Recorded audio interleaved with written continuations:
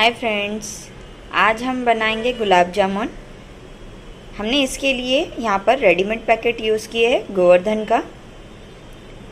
ये 200 ग्राम का पैकेट है। आइए देखते हैं, इस रेडीमेड पैकेट से हम घर पर गुलाब जामुन कैसे बनाते हैं।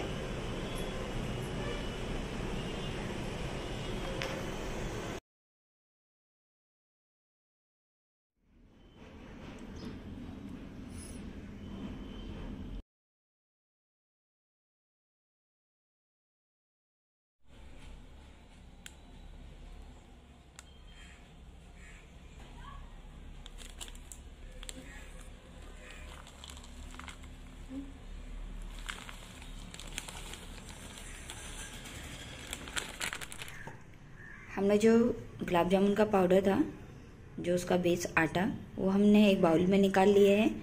अभी हम इसमें थोड़ा थोड़ा दूध डालकर इसे अच्छी तरह से गूंद लेते हैं।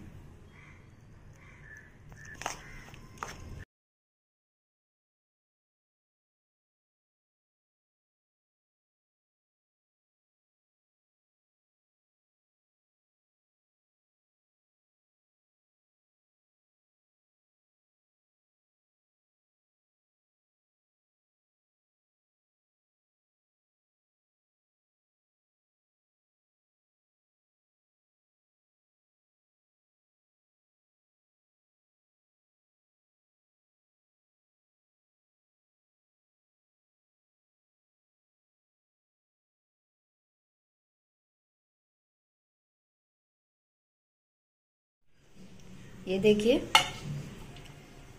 हमने आटे को अच्छी तरह से गूंद लिए हैं।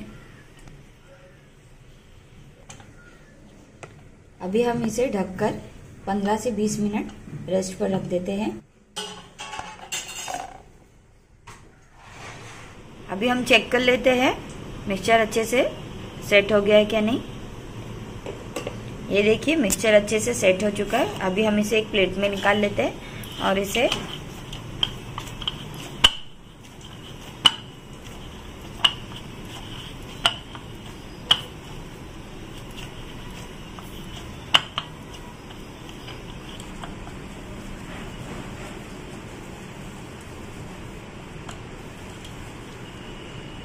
ये देखिए, अभी ये अच्छे से रेडी हो चुका है। अभी हम इसके छोटे छोटे बॉल बना लेते हैं। सबसे पहले हम थोड़ा से ये लेते हैं। हाथ के ऊपर पहले हम थोड़ा घी लगा लेंगे और फिर इस तरह से हम इसे राउंड शेप दे देंगे। ध्यान रखें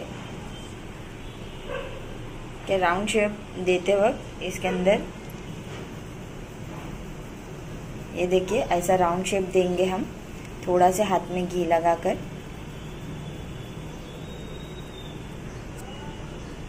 हाँ ये देखिए, इस तरह से रेडी हो गया अभी हम सारे पीसेस इस तरह से रेडी करते।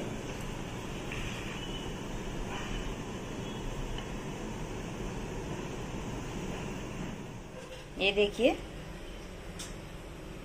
सारे गुलाब जामुन के बॉल बना के रेडी हो चुका है। अभी हम इसे डीप फ्राई करते हैं। हमने यहाँ पर गुलाब जामुन का 200 ग्राम का पैकेट लिए है। तो उस हिसाब से हम चाशनी बनाते हैं। उसके लिए अभी हमने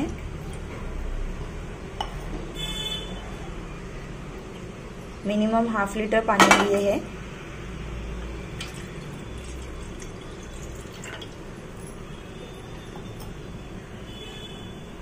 अभी हम इसमें चीनी ऐड करते हैं। चीनी भी हमने लगभग 400 ग्राम लिए है।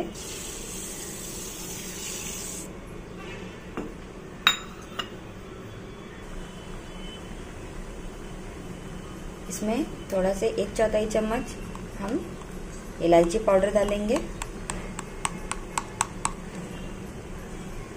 और केसर डालेंगे।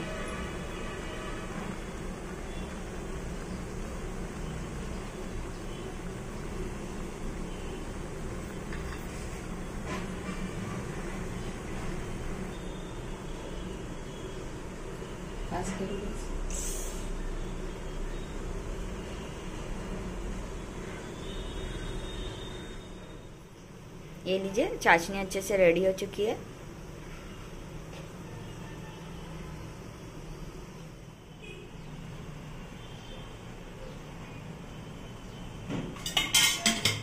तेल को अच्छी तरह से गर्म होने देते हैं। तेल अच्छी तरह से गर्म हो चुका है। अभी हम इसमें एक एक करके इसके अंदर गुलाब जामुन के बॉल डालते हैं।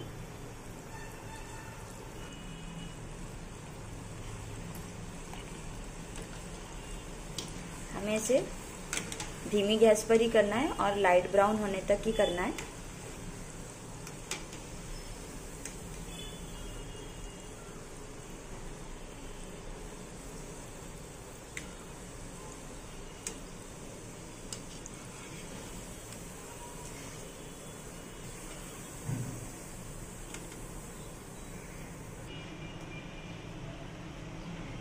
हम इसे जैसा डीप फ्राई करके निकाले, वैसे ही चाशनी में डाल देना है इसे।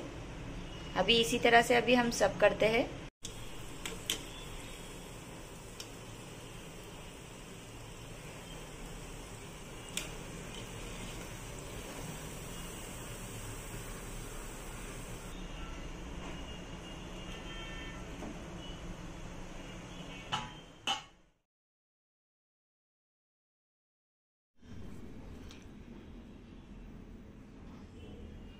ये लीजिए फ्रेंड्स। गुलाब जामुन रेडी है।